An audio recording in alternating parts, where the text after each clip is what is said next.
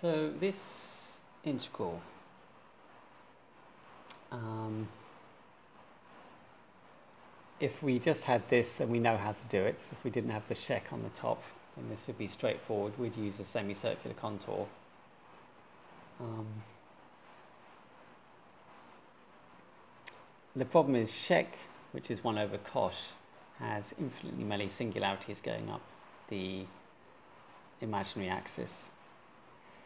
But we can't use a rectangular contour because the a squared plus x squared, we can never get the same function again if we replace x by x plus 2 pi i. We'll never get the same function. So what can we do in this case? Well, the residue theorem in its original form says that we must have a finite number of singularities. But what we can do is cheat a little bit and say, well, we just we'll just take the limit. Um, we'll consider a contour containing maybe a, a, finite number, and then just gradually expand the contour and allow it can and take the limit, and so we'll end up with an infinite number of residues to sum, but that's okay um, in the end. So the when the original residue theorem says that we're meant to have a finite number of residues, but if you can have an infinite number as long as the sum converges, that's the, that's the key thing. Now the second thing is that you en you'll end up with a sum, an infinite sum, and the question is whether you can actually evaluate that sum in terms of a known function. So that's another problem. So in this particular case, um, what we could attempt to do is say, okay, yes, we realize that there are um, infinitely many poles because of this sech pi, pi x. So the poles um, are going to be located at, well, because of the pi x, they're going to be located at z equals n plus a half i. Okay, all these poles from this. And then we're also going to have poles at um, uh, z equals plus or minus um, IA as well. So let's have a go with a semicircular contour. Okay, normally would we wouldn't use a semicircular contour, but really we don't have much. It, it's worth a try. What, what, let's just see what happens with a semicircular contour. We're going to get infinitely many poles, but the rectangular one is not going to help us because of this, this a squared plus x squared.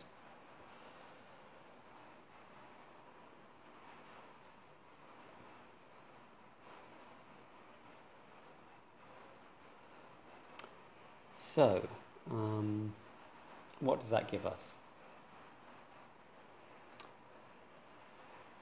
If we can show that, so we take as use limit as r goes to infinity around this contour. So we've got sech of pi z over a squared plus z squared dz. Okay, so that's going to give us the integral we want along here. As r goes to infinity plus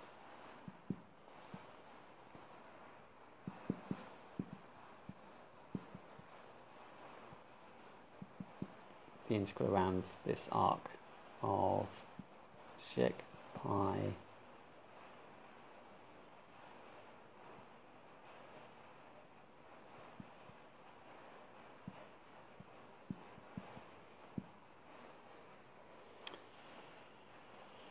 Okay, so um,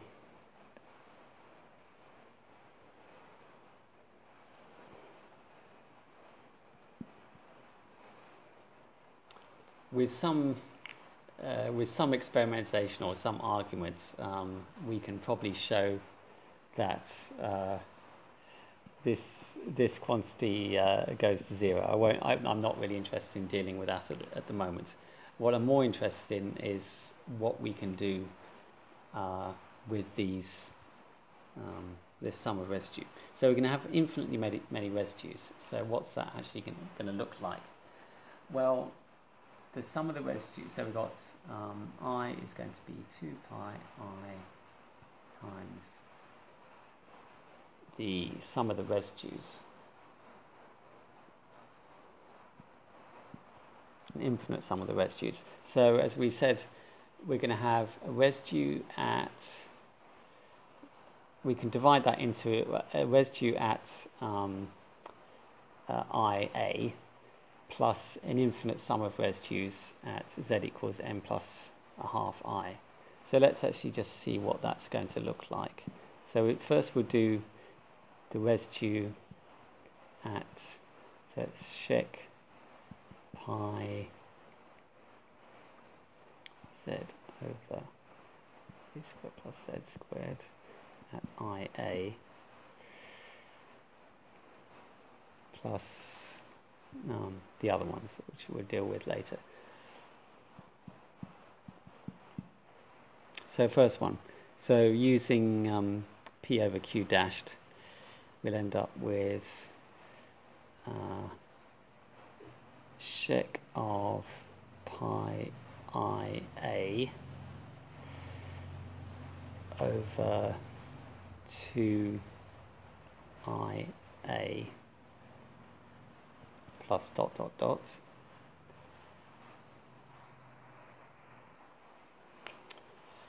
So that's going to, so the 2i cancels with this 2i here. Um, sech of pi ia is the same as 1 over cosh pi ia, and, and cosh of pi ia is just cos of pi a. So actually sec of pi ia is just um, sec pi a. So we end up with um,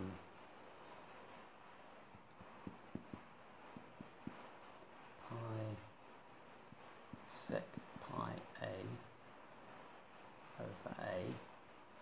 And then the dot dot dot was we said, okay, we've got um, the other poles are at n plus a half i. And we're going to have infinitely many. So we're basically summing over um, all possible values of n, n equals minus infinity to plus infinity of, and then the residue of this at those those values.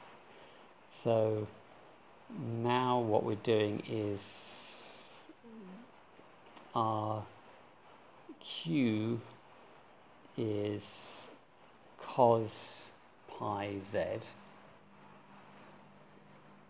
and our p is a squared plus z squared. So we end up with 1 over a squared plus n plus a half squared times i, so that's going to give us a minus. Okay, and then we've got um, our q is cos pi z. So differentiating that gives us sine pi and it's n plus a half i. And I forgot the 2 pi i.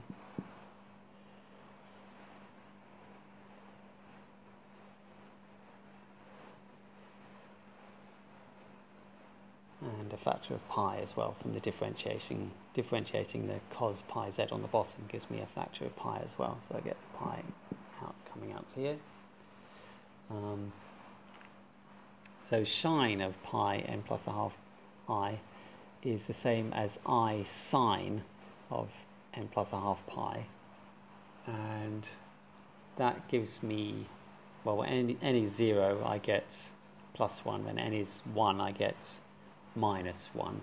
So that just gives me minus to the power n. So my final answer is pi over a sec pi a plus 2. The pi's cancel. The i cancels with the i when I turn it into sine. So I've just get n equals minus infinity infinity of minus to the n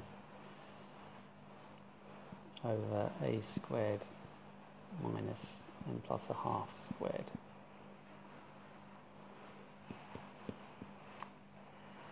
Okay, so the problem is that we have this infinite sum to evaluate. Now, as we'll do later in the course, um, oh, and I should say that a is not allowed to be n plus a half. Otherwise, we get a problem with this, and we have to. If if if that happens, then if a is n plus a half, then that implies that we've got a double pole somewhere um, and then we have to do something different, obviously. Um, so this we have to make sure that for all n, a is not equal to n plus a half. Um, now there are techniques for evaluating sums like this, but they don't always give you a, a function that you know about. And it turns out that in this case, um, you can evaluate this sum, but not in terms of functions that you already know about. Um, it can be expressed in terms of something called the, uh, not the gamma function, but the digamma function. Um, so this is all we can do at this stage. Um, we can convert this integral into an infinite sum. Um, that's the best we can do without using this special function, which we can express this, we express this sum in terms of.